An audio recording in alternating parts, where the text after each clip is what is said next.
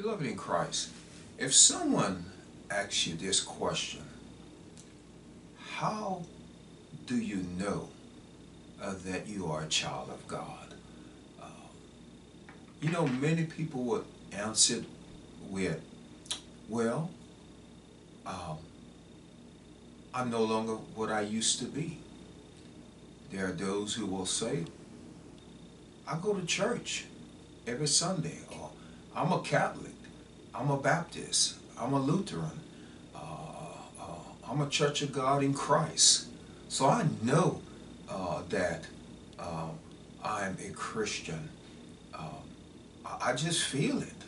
You know, I, I, I'm, I'm different. And, and I know my behavior uh, is different from many other people. And if I told you that all those answers were wrong, what would you say about that? Well, beloved, I want you to know all those answers are faulty. And you know why? Because the Word of God tells us in Romans, the 8th chapter, in the 16th verse, hear these words, what the Word of God says.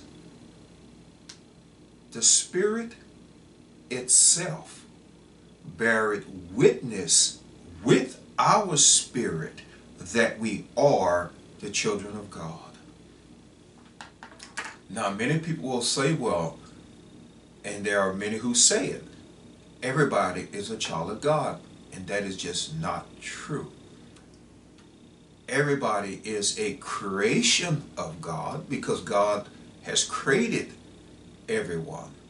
Uh, and man was made in the image of God. That is true. But you are a creation of God. That does not make you a child of God. What makes you a child of God is being born into the kingdom of God. That's why the Word of God says the Spirit itself beareth witness with our spirit that we are the children of God.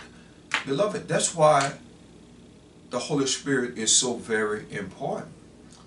And as I said in earlier studies, sometimes we just kind of put that off and believe that okay the Holy Spirit is a force. It's it's there. We know that it is real uh, but at the same time it has no uh, space in my life.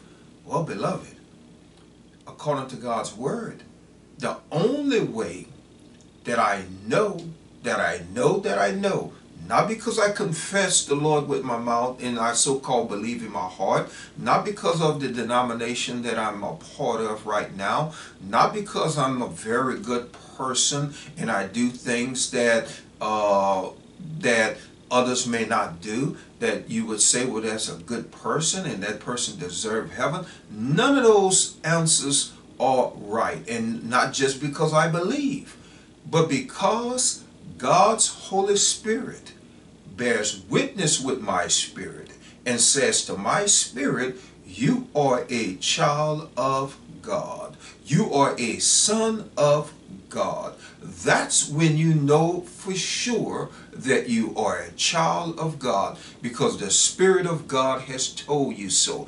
Not man told you so.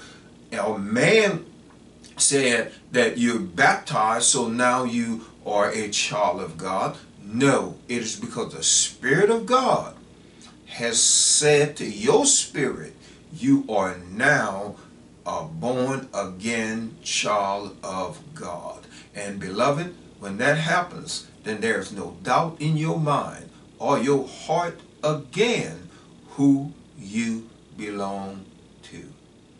Beloved, it is the Spirit that bears witness with your spirit that will ultimately get you to a place of walking in the fullness of who God says that you are. Amen. Beloved, be blessed this day in Jesus' name.